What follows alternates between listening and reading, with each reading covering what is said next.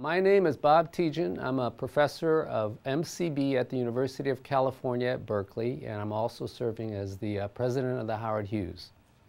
I'm going to spend the next 25 or 30 minutes telling you about some fundamentals of one of the most important molecular processes in living cells, which is the expression of genes through a process called transcription. Now, first, to understand what gene expression means, you have to have a sense of what we tend to refer to in the field as the central dogma of molecular biology. Another way to think about this is the flow of biological information from DNA, in other words, our chromosomes, which every cell has its complement, uh, to be transcribed into a sister molecule called RNA. So this process of converting DNA into RNA is called transcription. And that is the topic uh, of this lecture. This process is very complicated, as you'll see by the end of my two lectures. And it is very important for many, many fundamental processes uh, in biology.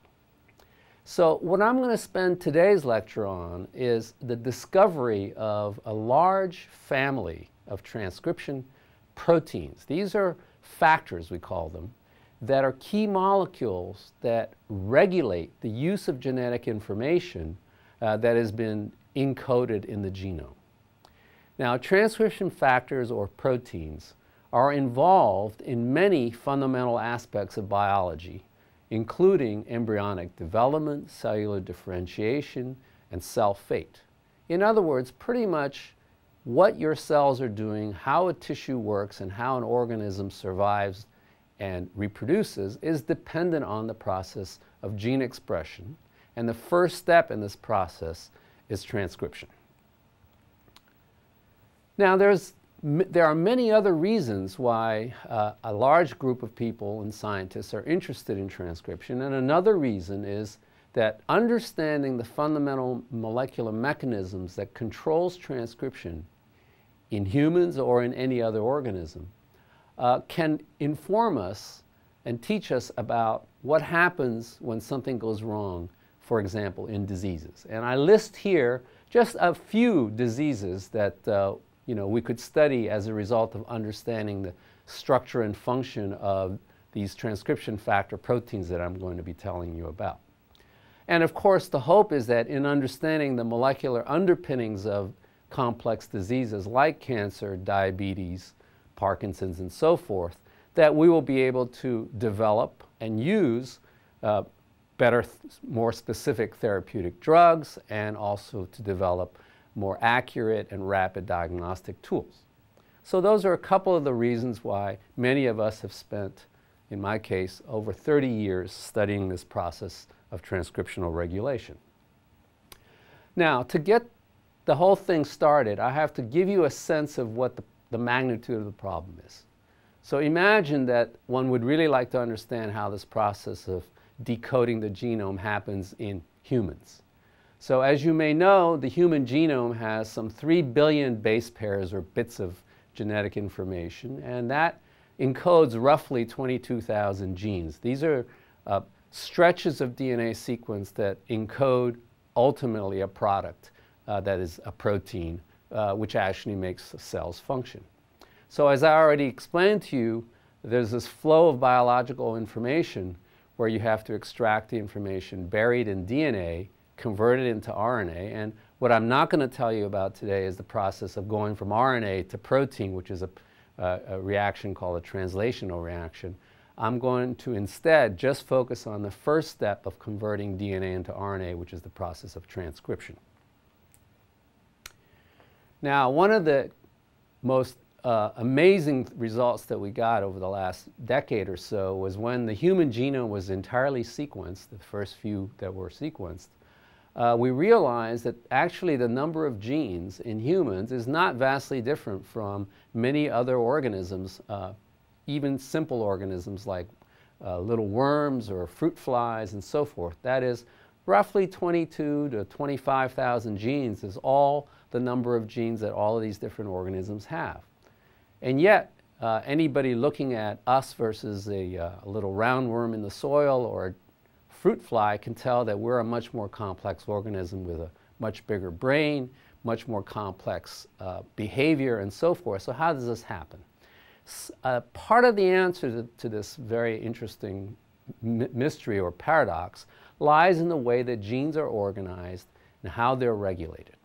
And one of the most striking results of the genome sequencing project was to realize that a vast, vast majority of the DNA in our chromosomes is actually not coding for specific gene products, and that only roughly 3% of the DNA is actually encoding, let's call those little arrows that I show you on this uh, purple DNA, are the gene coding regions. So you'll notice that there's a lot of non-arrow sequences, which I'll show you in this next slide as green. These are non-coding regions. So the vast majority, 97% or greater, is non-coding. So what are these other sequences doing?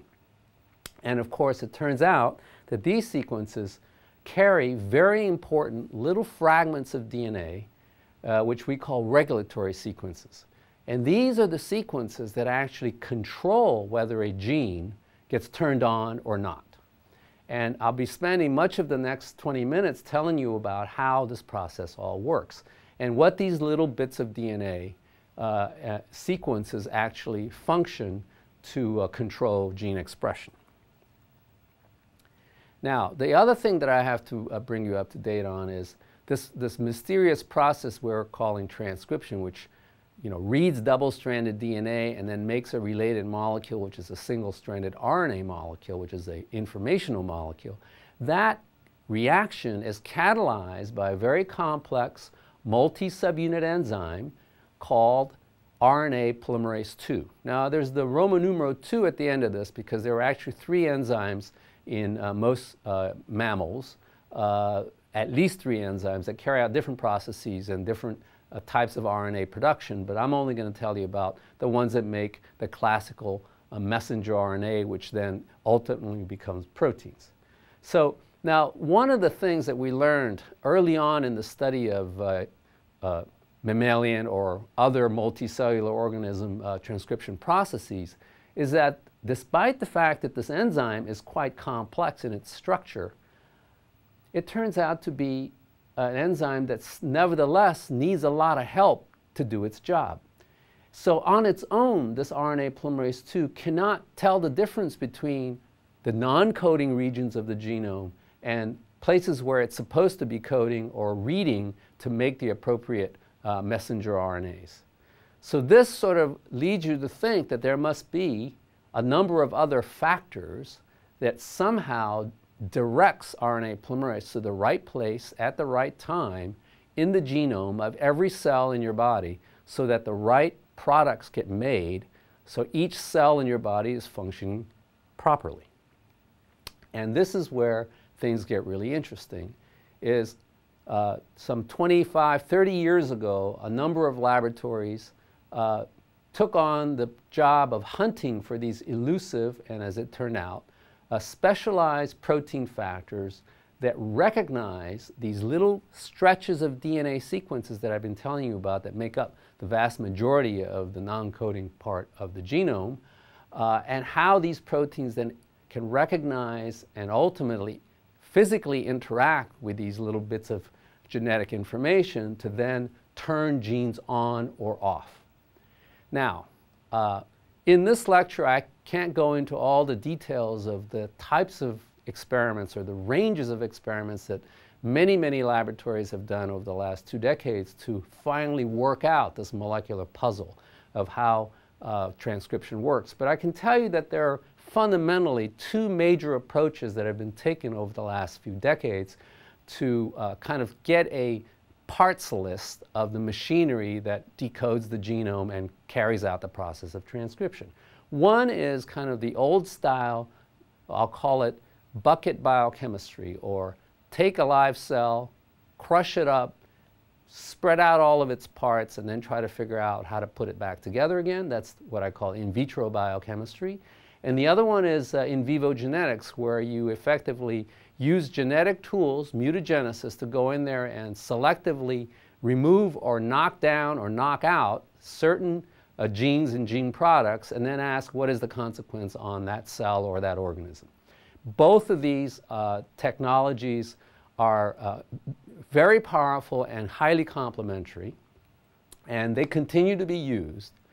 Uh, today, uh, I will focus primarily on the in vitro biochemical techniques which led us to the discovery of the first uh, few classes of transcription factors. Uh, and in subsequent lectures, we'll go to more uh, recent technologies that allows us to sort of speed up this whole process of identifying key regulatory molecules and uh, how they work. So let's go back to the sort of the basic unit of gene expression, which is a gene, here shown in the uh, orange uh, arrow, uh, and the non-coding sequences surrounding it. And you'll see that now I've added a few more elements to this purple DNA. You see some symbols, uh, blue square, a round circle that's pink, and then a yellow triangle. Those are just uh, a way for me to graphically represent the little bits of DNA sequences that I told you about that are the regulatory sequences. So the, the little round one happens to be very GC rich. The uh, triangle one is a classical element uh, that's called a TATA box. I'll tell you about a little bit later. And the blue one is yet another recognition element. So why are we so interested in these little stretches of, uh, of nucleic acid sequence uh, in the genome when it's buried amongst uh, billions of other sequences. Well, these individual little sequences turn out to be very important because of where they sit. You'll notice they're sitting near the top of the arrow, uh, and they are recognized by very special proteins, which are the transcription factors. So now I've shown you some symbols with little cutouts which fit into either the square, the circle, or the triangle. So transcription factors, at least one major family of transcription factors are proteins whose three-dimensional structure is folded into a shape that allows them to recognize these short stretches of double-stranded DNA. Uh, in fact, largely through interactions with the major groove of DNA, and I'll show you a structure of one in a little bit. So now it turns out that there are probably thousands of these transcription factors because the number of genes that we have to control, as I showed you, is uh, in the order of 20 or 25,000 genes. And so it turns out that you need a pretty large percentage of the genome devoted to encoding these regulatory proteins in order for a complex organism like ourselves to survive. Then the other component of this, uh, let's call it the transcriptional apparatus, is of course the enzyme that catalyzes RNA. And I already told you that this enzyme uh, on its own can't tell the difference between random DNA sequence and a gene or a promoter. These other sequence-specific DNA binding proteins are the ones that must recruit or otherwise direct RNA polymerase to essentially land on the right place and at the right time in the genome to turn on a certain subset of genes that are specifically required in a, in, in a specialized cell type whatever cell you happen to be looking at. So that is kind of the first level of complexity of sort of informational interactions between the transcription factors and the more ubiquitous and I would call it promiscuous RNA polymerase II enzyme. Well, as it turns out, it took several decades to work out most, if not all, of the components of this so-called transcriptional machinery. Uh, and it turns out in this uh, slide I'm showing you, things are already starting to get more complicated. So not only do you have RNA polymerase, but you have a bunch of other proteins that go by names like TF2A, B, you know, D, E, H, F, and so forth.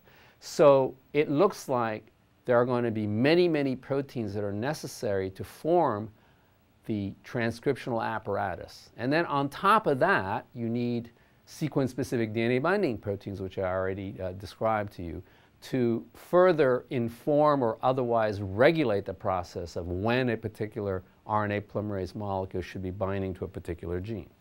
So that's the, the, the sort of overview. Now let me get into the specifics and how did we actually discover these uh, family of proteins. And it will be interesting for you to see how science uh, in this field evolved. Now, as is often the case uh, when you first try to tackle a very complex problem, and of course we didn't really know how complex it was when we began these studies, but we assumed it might be complicated. Certainly it would be more complicated than uh, systems that we had already had some idea about, for example, in, uh, in bacteria or in bacteriophages. So we took a lesson from our studies of bacteriophages and decided that to begin to dissect the molecular complexities of the transcription process in animal cells, we should start with viruses.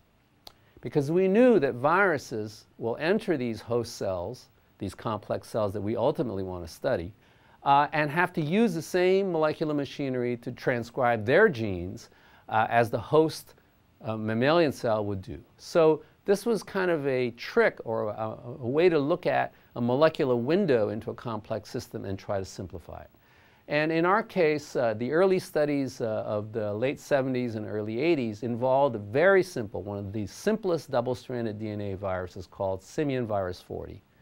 And simian virus 40, of course, is a monkey virus, which was nice because it's very close to humans. Uh, and many things that we could learn about the way this virus uses its host, which are monkey cells, to replicate and to express their RNAs and genes uh, would be applicable to our uh, studies of humans, as you'll see. And this virus uh, was one of the first whose DNA, its double-stranded DNA of about 5,000 base pairs, uh, was fully sequenced. This was long before rapid modern-day sequencing was available. So this gave us a very powerful tool. It basically allowed us to look at the entire genome of this virus, which was tiny by comparison, only 5,243 base pairs. But just that information was already very important because it very quickly allowed us, for example, to map where the genes are. And one of the genes encoded a protein called the tumor antigen, which turns out to be a transcription factor. This then allowed us to get our hands, basically to do biochemistry and genetics, on the very first eukaryotic transcription factor, which in this case happens to be a repressor. That is, a protein that when it binds to DNA, just the same way as I showed you for the, uh, the model case, uh, it binds through specific protein DNA interactions, but in this case actually shuts transcription down rather than turn it up. In the process of studying the way that this little virus, when it infects a mammalian cell, uses proteins like T antigen to regulate its gene expression, uh, it became clear that it had to use the host machinery to, to do the process. And that meant that there must be monkey proteins that are also involved in activating or repressing genes of this virus. And this then led us to the most important step, which is to transfer the technology we learned about viruses and how to work with the virus transcription factor like T antigen to the cellular ones. And I'm going to give you just one example of how this simple jump into the host cell allowed us to discover the first human transcription factor. So the, question that we then asked uh, back in the early 1980s was, what host molecule uh, is regulating the expression of transcription of this virus uh, when the virus is in the host? And we knew from the DNA sequence of the virus that there were these six very GC-rich snippets of DNA that were regulatory, because if we deleted them, the virus no longer would express the gene of interest. So we knew that something was probably responsible for recognizing these GC boxes. Uh, and we knew that it wasn't a virally encoded gene because we had tested all of the viral genes, of which there were only six to begin with. So we knew it had to be a host gene. And that led us to uh, a whole, I would say, family of experiments that led to the discovery of sequence-specific mammalian transcription factors. And as I said, we could have taken multiple approaches to try to address this uh, complicated issue. Uh, I'll just give you one example uh, of using in vitro biochemistry to finally get our hands on this key sequence-specific human transcription factor, which of course has a, uh, a homologue in the monkey. And the way we did it was, uh, was very interesting and simple in retrospect. And that is recognizing the fact that whatever uh, this protein was, it had to have the property of recognizing those GC boxes that were sitting next to the, uh, the viral gene.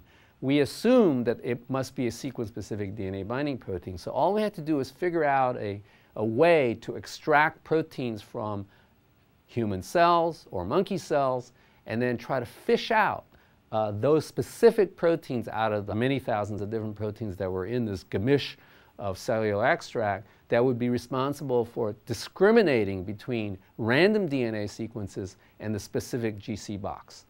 And I'll quickly run through sort of the logic behind this.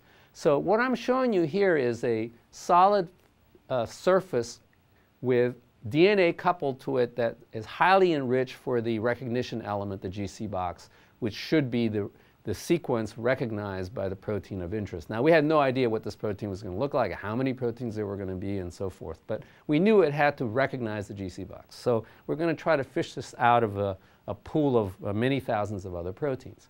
Now, the, the key trick here was that because all cell extracts contain not only one DNA binding protein, but as I told you, thousands of different DNA binding proteins, but most of them, or in fact in our case, none of the other uh, of several hundred to a thousand proteins that could bind DNA actually happen to recognize the GC box. They just bind other DNA sequences.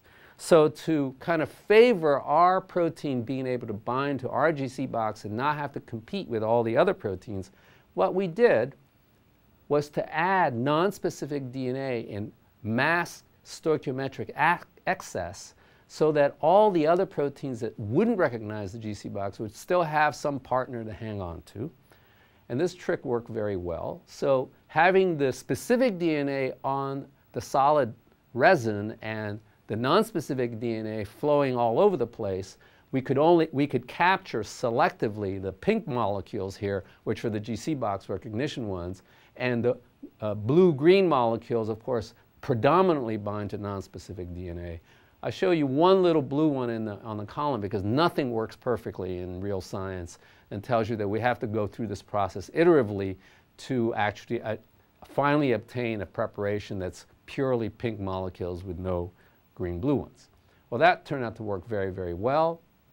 And that whole process of biochemical fractionation followed by a, a direct affinity sequence-specific DNA resin uh, gave us the ability to perform a biochemical purification followed by a molecular cloning of the transcription factor that encodes uh, the protein SP1. And then we carried out a bunch of experiments, which I'll tell you next, to show that this protein actually does activate transcription. Uh, and of course, we went back and we proved that this protein, which turned out to be a rather large polypeptide, can indeed recognize the GC box and it doesn't matter if it's a GC box from the SV40 genome or any other GC box that we could find in the human genome. Uh, it would find that sequence and bind to it, uh, and then it would uh, generally activate transcription. So this led to the discovery of the first of uh, a very large family of sequence-specific DNA binding proteins. Now, I told you that the way these proteins tend to recognize short DNA sequences is to interact with DNA through the major groove. And here's a perfect example. So the stick blue model there shows the actual three structures that are called zinc fingers. And the reason they're called zinc fingers is because they're amino acids that are uh, organized around a center that contains a zinc molecule, which holds the three-dimensional shape of the polypeptide in a position uh, just right for fitting into the major groove of the DNA. And the DNA here is shown in pink. And you can see that that blue outline fits right into the major groove of the DNA, but not to the minor groove.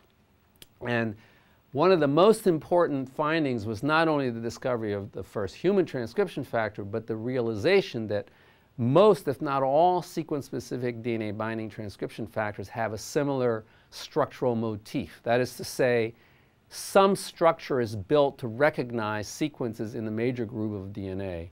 And these three-dimensional motifs uh, are recognizable as amino acid sequences in the genome.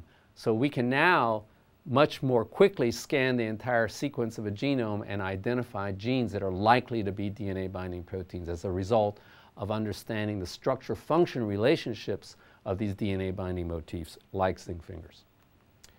So uh, what I'd like to show you now is that I've only introduced you to one class of transcription factors. which are the sequence-specific DNA binding proteins. Well, I think I gave you a little taste of the level of complexity that's probably going to be needed to be able to build the machine that's ultimately going to be able to allow you to transcribe every gene in every cell of a human body. So that turns out to be a much more elaborated machine than, than what I just showed you. So I want to show you now what is sort of our state-of-the-art thinking about what is actually needed to build the machinery at a gene to allow it to be expressed and transcribed.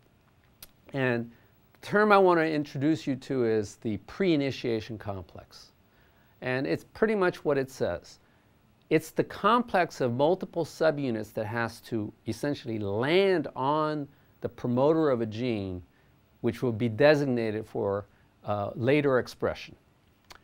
And this is a process that is probably quite uh, orderly. That is, there's an order of events that happens, which we, by the way, are not entirely sure exactly what the order is, or even if the order is the same from one gene to the next.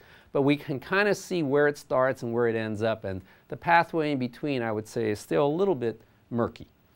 And the story here, again, starts with a little snippet of DNA called the TATA box, which I already introduced you to uh, briefly. It's an AT-rich sequence which sits uh, at the 5' prime end or the beginning of many genes, but not all genes. Maybe 20% of the genes might contain this uh, AT-rich region. Um, and that AT sequence uh, is the signal or landmark, if you like, for a particular protein to bind to it. And that protein is called, not surprisingly, the TATA binding protein because it's the TATA sequence. And so this is, represents a second class of transcription factors. These are not the type that I just introduced you to, which are going to be different for every gene. The TATA sequence is present in a very large number of genes, so it can't be gene specific. But it turns out to be very crucial for our understanding of how gene regulation works. So, uh, so you start with a, a TATA binding protein finding a TATA box. We later found out that the TATA binding protein rarely functions on its own and has a bunch of friends that we call TAFs for TBP associated factors. And now you're talking about an assembly, a multi-subunit complex of almost a million Daltons. There are somewhere between 12 to 15 subunits in addition to the TATA binding protein that make up this little uh, complex of proteins that kind of travels around together. Uh, and this is found in most cell types. And uh, later on, I'll show you in a subsequent lecture that not every cell type might have exactly the same complement of these subunits, but many of them have this uh, prototypic complex. Is this enough for uh, building the pre-initiation complex? Unfortunately not. Uh, it turns out that there are a host of other, I'll call them ancillary factors, in addition to the multi-subunit RNA polymerase itself, that are necessary for you to build up uh, an ensemble that is necessary to form an active, ready to, to, to activate transcriptional pre-initiation complex, or the PIC. And, and this is kind of the picture we're uh, getting to, and even this picture with many, many colors and many, many different polypeptides, you know, that adds up to probably greater than 85 individual proteins that all have to kind of fit together like a jigsaw puzzle. It's probably not even the whole story, you'll notice I still have one big red question mark there because I think as we begin to study specific cell types and specific processes like embryonic development or germ layer formation, uh, additional components that are not present here in this prototypic pre-initiation complex will, will come into play, and, uh, uh, and that's a subject of a subsequent lecture. But already you can tell that the transcriptional machinery is anything but simple. So can we get a better idea of what transcription might actually look like in, in, in, what's happening when a transcription process takes place? So let me first of all say that I'm going to finish my lecture now with a, a little cartoon, which is our um, attempt to imagine the events that take place when you form a pre-initiation complex, you bring regulatory proteins at to, to the activated gene, and what happens uh, during this process. Now, keep in mind that this is at this point mostly a cartoon that is a, in our imagination and only parts, or if any, of this is probably real.